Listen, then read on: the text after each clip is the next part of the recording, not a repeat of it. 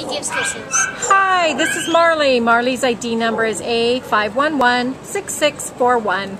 Marley is an altered male, brown, and we, are calling him a German Spitz Mittel, but he's got an awful look of a Pomeranian face. so we're not quite sure what he is, but whatever he is, whatever breed, he's absolutely gorgeous. He's got like a reddish colored coat. He came in as an owner surrender on September 30th. Uh, they claimed they had no time for him. He weighs 32 pounds. Uh, Kristen, what do you want to say about the cute you know, guy? He is a sweetheart. And when he, my first took him out, he got scared of the pit bull that was just. and so it freaked him out. He laid down, didn't want to move. And I sat next to him. He slowly crawled over to me and came over and gave me kisses. And then started to crawl on my lap.